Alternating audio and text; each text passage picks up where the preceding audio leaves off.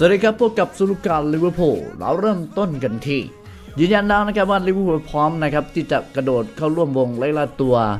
กอนซาโลอินาซิโอกองหลังของสปอร์ติ้งลิสบอนมาร่วมทีมในเดือนมกราคมนะครับซึ่งสอดคล้องกับการที่ A Bola สื่อในโปรตุเกสก็บอกเอาไว้ว่า ตอนนี้สปอร์ติ้งลิสบอนกำลังพยายามทำงานอย่างหนัก เพื่อที่จะทำการมองหาตัวแทนของอิกนาซิโอเอาไว้ตั้งแต่เนิ่นๆเพราะตอนนี้พวกเขารู้แล้วนะครับว่า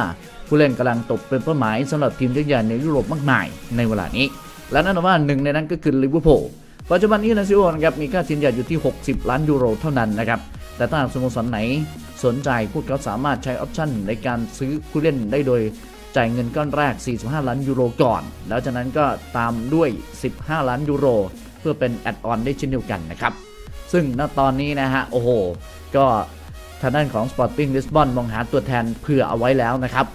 ราคานี้ก็พอจะต้องได้นะครับท่านผู้ชม 60 ล้านยูโรกับตำแหน่งกองหลังที่ถนัดเท้าซ้ายที่เรากำลังตามหาอยู่นะฮะ ซึ่งก็มีข่าวเชื่อมโยงกันมาตั้งแต่ตลาดซัมเมอร์ที่แล้วนะครับลิเวอร์พูลกับอินาซิโอก็ยังมีทีมหลายทีมนะครับที่อยากจะได้ตัวอินาซิโอเหมือนกันนะครับ อายุการใช้งานเนี่ยต้องบอกเลยนะครับว่าปั้นได้อย่างสบายๆนะฮะก็เป็นอนาคตได้เลยนะฮะซึ่งแน่นอนกองหลังที่เราตามหาอยู่ก็คือ ถนัดเท้าซ้ายนะครับ เพื่อที่จะเอามาทดแทนเวอร์จิล ฟานไดจ์คในอนาคตที่กำลังเริ่มโรยราลงไปในทุกขณะแล้วมันเริ่มชัดเจนขึ้นเรื่อยๆแล้วนะครับ หลังจากที่เมื่อวานนี้ This Is Anfield ได้ให้ข่าวนะครับว่าลิเวอร์พูลนั้นไม่ได้สนใจอังเดรนะครับ เพราะในตอนนี้ลิเวอร์พูลนะครับสนใจเพียงแค่การปั้นสเตฟานบาจเซติชในตำแหน่งกองกลางเบอร์ 6 ของทีมนะฮะ โดยสเตฟานบาจเซติชก็คือคำตอบคำถามนี้นะฮะ หลังจากที่เจคกินครอปออกมายืนยันว่า ไม่ได้สนใจอังเดรนะครับ แต่ว่าจะปั้นเด็กคนนี้ ไม่ต้องใส่ใจว่าเด็กคนนี้ถูกปั้นให้เป็นมิดฟิลด์นะครับ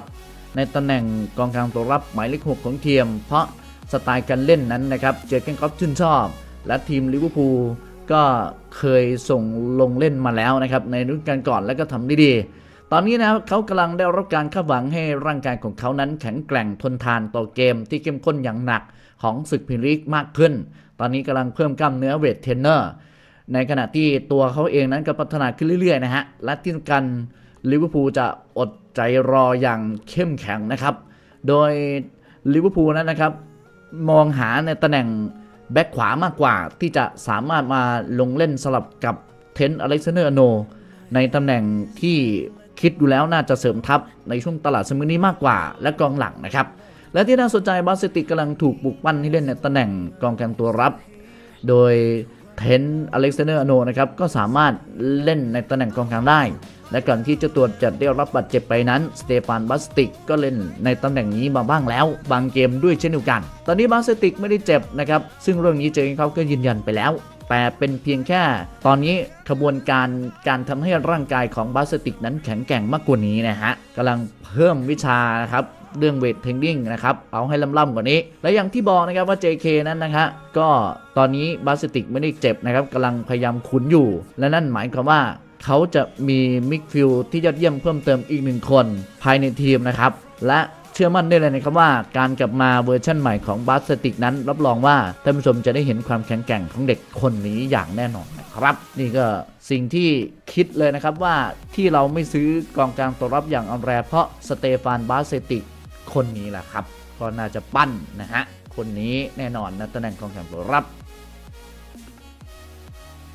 เห็นด้วยหรือไม่ครบเครื่องมากกว่า อดีตหอกดังลิเวอร์พูลนะครับแดเนียลสเตอร์ริดจ์ยกแฮร์รี่ เคนเหนือกว่าเออร์ลิง เบราท์ฮาแลนด์สมบูรณ์แบบที่สุดแดเนียลสเตอร์ริดจ์นะครับอดีตสตาร์ดังลิเวอร์พูลกล่าวชมเออร์ลิง เบราท์ฮาแลนด์เป็นดาวยิงที่น่าเกรงขาม แต่ยังเปรียบเทียบกับแฮร์รี่ เคนไม่ได้ ในแง่ของความครบเครื่องมากกว่า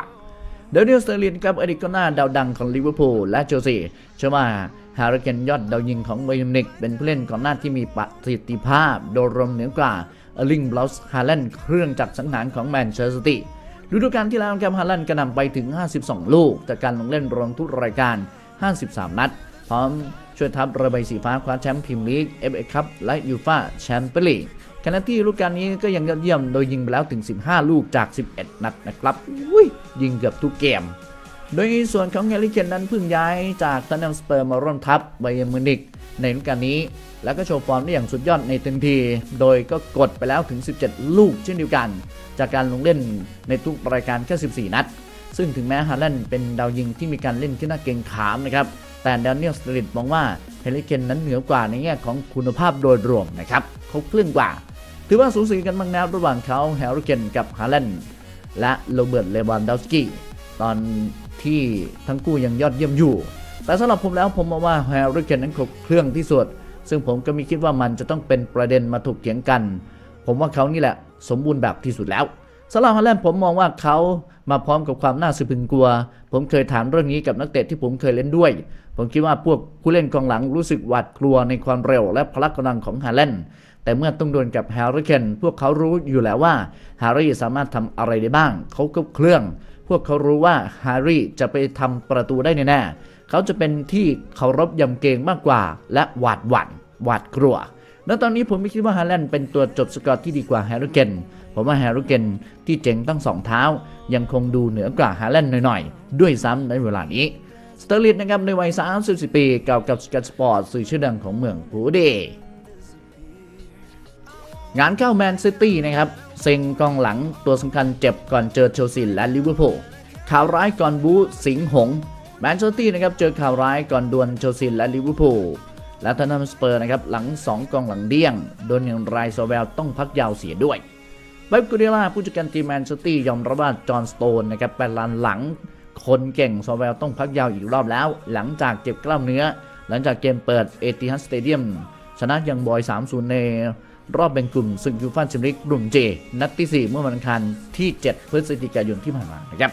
หรือใบสีฟ้าคว้าใจ4เกมรวดนะครับเก็บ 12 แต้มเต็ม ยึดจ่าฝูงในกลุ่มเจการันตีผ่านเข้ารอบต่อไปเรียบร้อยแล้ว แต่ก็ต้อง